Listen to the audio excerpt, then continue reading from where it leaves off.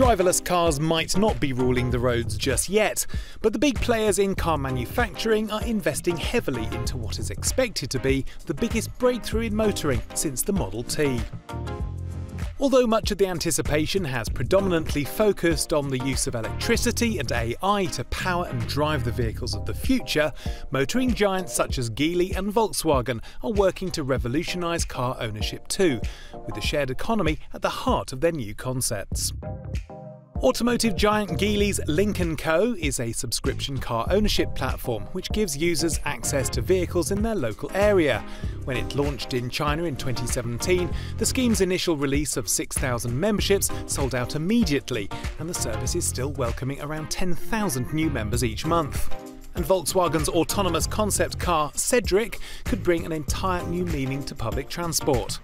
Peter Wouda is Vehicle Design Director at Volkswagen's Future Centre Europe. Our mission, if you like, is to look far into the future and to, to find out what are the needs of our future customers, of our future users, what are their needs in, in their environment, and to understand the challenges we're having ahead of us and to find mobility solutions.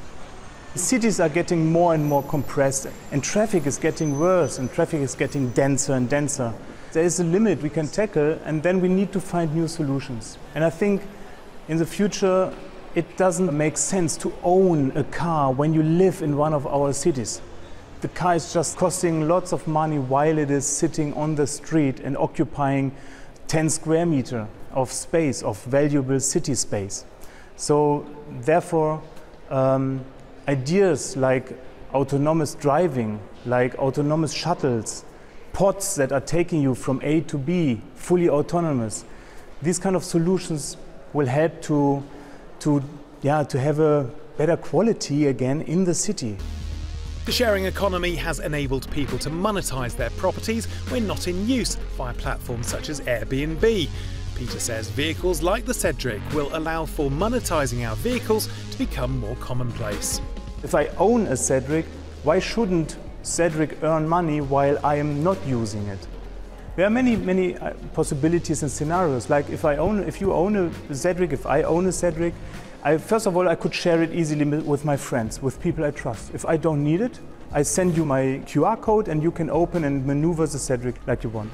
So sharing it in your community with your friends, maybe with your neighbors. When you don't need it, somebody else is using it. And then the next step would be handing it out to foreigners, kind of as a business opportunity. Could be a rolling office that you are providing to your customers. Could be a rolling cafe. Could be a rolling kindergarten. It could be basically there are almost endless opportunity. Designed as a spacious cabin which seats up to four passengers, the vehicle is entirely autonomous, and where we'd normally expect a windscreen, there's a large interactive screen. I am your car. I recognise your voice from when you made the booking. A version of the Sedric is currently on display at London's V&A Museum, giving the public a glimpse of what the technology might offer. But although this concept is being tested by Volkswagen, it could be a while before we see the Sedric on our roads. Technology-wise, we, are, we can be there pretty soon. In two or three years, the car would be capable to do all this. In terms of ethical questions, in terms of regulations, that will take longer. It's not only a hardware that you are selling to, to your customers. You have to design basically and to create a mobility system.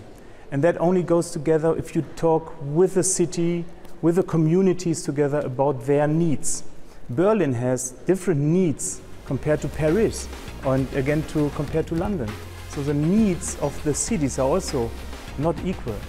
It's more a question of timing. The use cases are pretty equal. In all cities we have elderly people who want to be mobile again. In all cities we have the kids.